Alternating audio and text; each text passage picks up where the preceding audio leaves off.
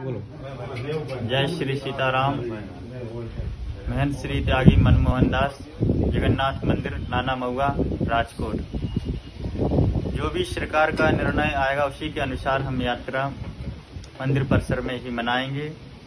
और जो भी इस प्रकार की प्रेस नोट कोई मेरे नाम से डाल रहा है, वो सब झूठ है।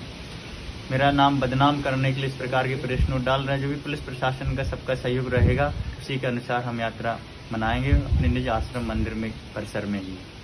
यात्रा कोई निकालना नहीं है और सब अब सभी के अनुसार अपने ही मंदिर में मंदिर परिसर में ही यात्रा अपना संपूर्ण करेंगे और भगवान की आरती पूजा दर्शन नियम अनुसार सरकार का पालन करेंगे। जय सीता